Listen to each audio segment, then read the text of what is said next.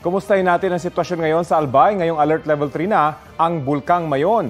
May ulat on the spot si Jessica Kalinog ng GMA Regional TV, Balitang Bicolandia. Jessica? Rafi, sinimulan ng ilikas kaninang umaga ang mga residenteng nakatira sa danger zone ng Bulkan Mayon. Epektibo na ngayong araw ang ipinatupad na mandatory evacuation ng Albay Public Safety and Emergency Management Office sa mga lugar na nasa loob ng 6-kilometer permanent danger zone ng bulkan. Pero dito sa Daraga Albay, hindi man sakop ng permanent danger zone. Pinalikas na ng MDRRMO ang mga residente mula sa Barangay Misi papunta sa evacuation center sa Barangay Anislag. Ayon sa MDRRMO Daraga, ang mga residenteng ito ay dating nakatira sa permanent danger zone at inirelocate na sa mas ligtas na lugar. Ngunit ang kanilang mga kabuhayan ay nananatili sa loob ng danger zone. Kaya minabuti na ng lokal na pamahalaan na i-evacuate na ang mga ito para hindi na rin magpabalik-balik pa sa delikadong bahagi ng barangay. Ang ibang LGUs naman ay ngayo, ngayong tanghali nakatakdang mag-execute ng evacuation ng mga apektadong pamilya. Epektibo na rin ngayong araw ang suspensyon ng face-to-face classes sa lahat ng paaralan na nasa loob ng 6-kilometer permanent danger zone. Samantala, nananatili pa naman sa normal normal ang operasyon sa Bicol International Airport matapos itaas sa Alert Level 3 ang bulkan. Ayon sa pamunuan ng paliparan, wala pa namang airline na nagkansela ng flights dahil sa kasalukuyang sitwasyon ng bulkan. Sa tala ng Absemor Rafi, nasa 2,400 na pamilya o mahigit 10,000 na individual ang kailangang ilikas mula sa 6-kilometer danger zone ng Bulkan Mayon. Dagdag naman na 4,600 families mula sa extended danger zone sakali man na mas lumala pa ang sitwasyon ng bulkan at itaas pa sa alert level 4 ang bulkan. Rafi? Maraming salamat Jessica Kalinog ng GMA Regional TV, Balitang Bicolandia. Balikan po natin muli si Albay Governor Edsel Grex Lagman. Magandang umaga po muli sa inyo. Si Connie Season po ito. Governor? Connie, magandang umaga ulit. Naputo lang tayo kanina. Opo. Pasensya ka na. Opo, ah, i-announce lamang po natin muli na meron po tayong ah, bibigay na ah, ah, state of calamity na ngayong pong araw na ito, Yes. no?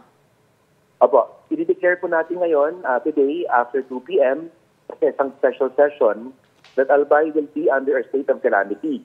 And uh, legally po, that will uh, allow me to access itong tinatawag na quick response fund para Yes. po makatubon po tayo sa mga pangangailangan uh, ng uh, kalamidad. Yun po ng uh, uh, pag-aambag po ng uh, ano, uh, pag-aambag naman ako. Yung, uh, yung threat of uh, this uh, volcanic eruption, isa nga sa mayon. Opo. Ah, nailikas na ho ba ang lahat ng mga kailangang ilikas ng mga residente? Yes. Yes, Connie. So far, uh, nailikas na po yung mga residents ng Kamalig at ng uh, Ginubatan. Mhm. Yan po kasi yung dalawang bayan na talagang uh, pinaka-vulnerable ngayon. Uh, but at the same time, I just want to inform you also, Connie, na yung iba pang mga bayan at syudad na meron din mga barangay within the 6-kilometer permanent danger zone ay uh, magkaroon din po ng paglikas. Opo. They will also undertake yung kanilang pag-evacuate. Saan po ngayon nananatili ang mga pamilya po na in-evacuate natin? At ilan po ba ang ah, tinitignan nating ma total no, ng families na ito? Okay. Sa ano po, ah, 1,000 sa more or less, dyan po sa uh, Kamalig, at 2,000 naman po sa Ginubatan. All right. At ah, balita rin ho natin, pati ho yung mga alagang hayop po, no, na nandoon po sa 6-kilometer danger zone, ay ah, ililikas nyo rin po. Ah, kamusta na ho ang efforts natin at saan po muna sila ilalagak? Well, meron po tayong mga designated sites for their evacuation. Ito po patungkol sa mga livestock. Yes. Ito po yung ah, parang mas maging ah, acceptable sa kanila na maglikas kasi syempre yung kanilang livelihood nakadepende sa mga alaga nilang hayop. So, yun po ay ah, ah, parehas pong ano, pinapagana natin. Hindi ganong klaseng paglikas. Hindi lang po sa mga tao, kundi po sa kanilang mga alagang hayop. Nakapag-ugnayan na rin ho ba sa kayo no, ngayon sa DSWD ah, patungkol pa rin po sa supply Yes. ng inyong pong pagkain at iba pa ho mga Opo. pangangailangan dyan? Yes. Actually, Connie, as early as three days ago, Mhm. nagkakausap na po kami ni Secretary Rex Gatchalian. Yung le- alert level number 2 pa lang tayo. At uh, tomorrow, he will be here upang uh, kausapin po ako at yung mga mayors para sa mga plano pang o mga iba pang mga needs ng ating mga evacuation centers. Uh, sa ngayon po, meron tayong uh, 102,000 uh, family food packs Each food pack po, meron niya na 6 na kilo ng bigas, may 10 delata, may kape po at asukal. And at the same time, uh, bumili na rin po yung DSWD Regional Office 5 ito po sa ating uh, uh, rehiyon, particularly rin sa province of Albay, ng uh, uh, tubig, 6 liter ano, uh, bottled water po. Sir, pwede po bang pakilarawan sa amin kung ano po ang ah, situation dyan as with regards to the ashfall? Ano? Meron na ho daw mga ilang lugar din na nakakaranas nito. Yes. At kung meron din ho bang kasama doon sa inyo pong ah, pack no, na ipamimigay sa ating mga residente dyan, yung mga kinakailangang face masks? Face mask, yeah. Tama ka dyan, Connie. Marami na talagang areas na nababalot sa ashfall.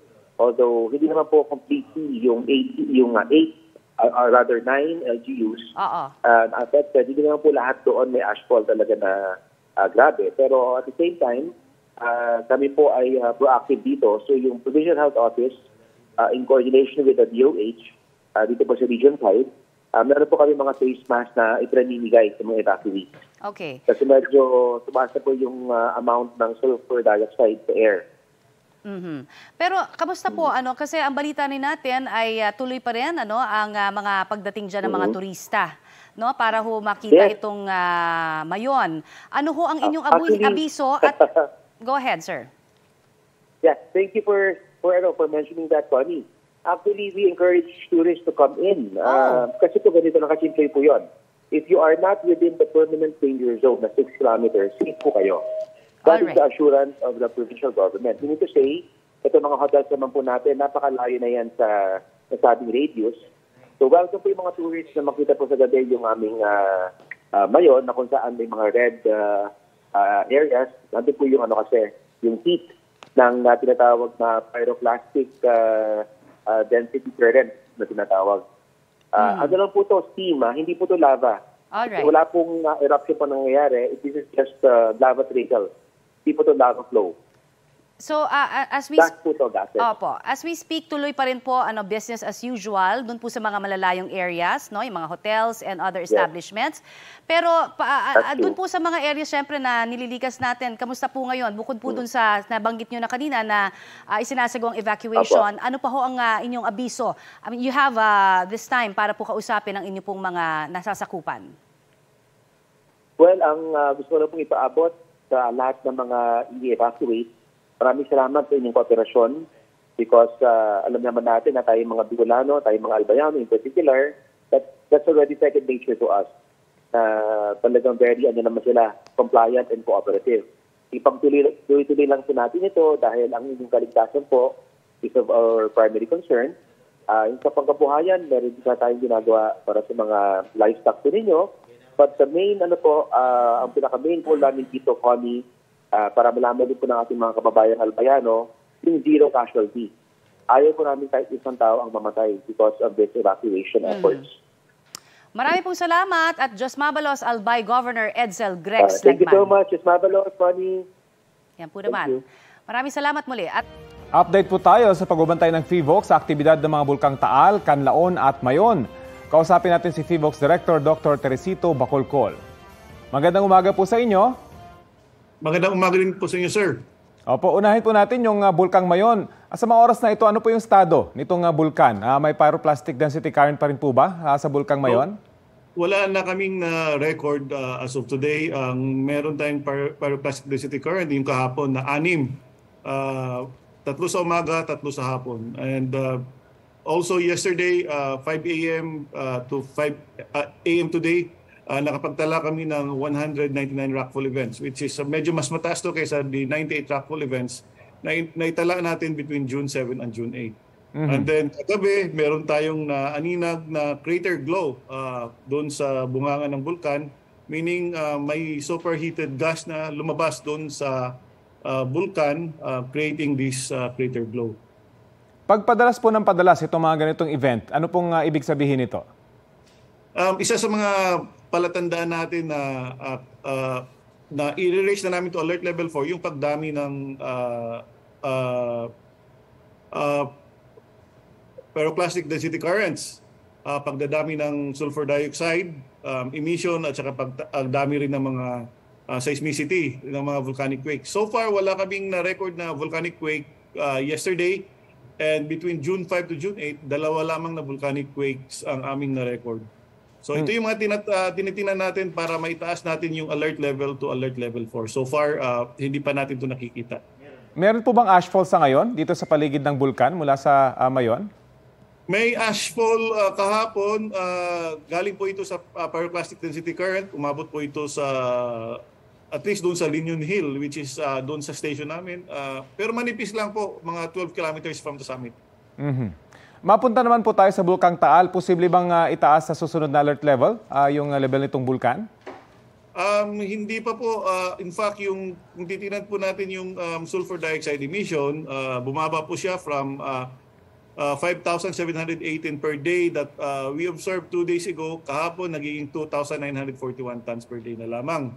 So again, um, hindi lang din naman um, yung sulfur dioxide yung tinitingnan natin na para, uh, as one of the parameters na uh, kinoconsider na, na, natin uh, when we want to uh, change the alert level, uh, raise alert level to 2 or revert it back to alert level 0. So may mga other parameters din tayo like uh, yung uh, pagdami din ng, ng, ng lindol, pag pamamaga doon sa edifice ng bulkan, uh, yung tinatawag nating inflation, So may mga kinoconsider po tayong mga parameters before we change the alert level to alert level 2 or uh, revert back to alert level 0. At sa ngayon talagang fluctuating pa rin po itong mga parameters na ito. Ano naman pong update sa lagay ng Kanlaon?